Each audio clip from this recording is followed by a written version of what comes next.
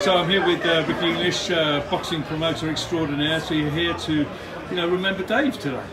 I know, it's a sad day today. Uh, me and Dave have known each other since we was, well, I was 18 years of age. And we were boxing at the Thomas of Becket, and I met him up there training. And then five years later, I met him at a nightclub in Options, Kingston. And we've been stay, stay friends ever since. And I've done some good things with Dave, some funny things, and serious man. things. Yeah, he was a funny man. He bought, when I had a boxing show, he'd always come.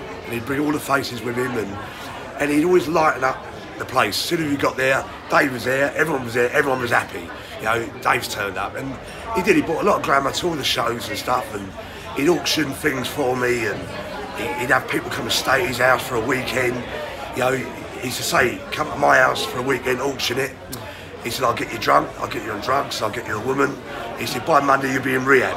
You know, and he used to do this all the time for me and he's sadly missed, sadly missed. He, he, know, when I didn't get my Christmas Day phone call, it, it hurt, sort of thing.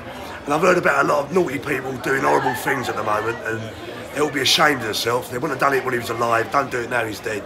I, I'm going to miss him, he's one of my bestest, bestest friends. And, And those great nights at Caesars. Caesar's great. He used to turn up with everyone. He'd auctions his knuckle dusters, and you he They was, were lively. yeah, he was fun. He was fun. And I've seen him, but some people used to say Dave wasn't hard nut. Dave wasn't hard nut. Dave would be the first out there on his own with a tool, with an axe, whatever he was, machete, and Dave didn't give a fuck. But people didn't know him from them days. They knew him later on. Yes. I knew him in the days when he, he was out in front, out in front, and he didn't give a fuck.